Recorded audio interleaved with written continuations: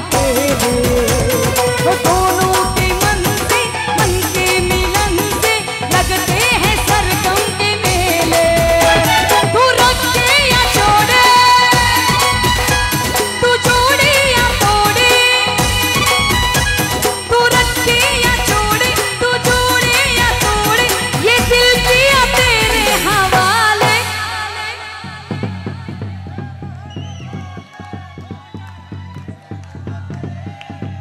श्री घाटावाली मात की श्री शंकर भोलेनाथ की और डफली वाली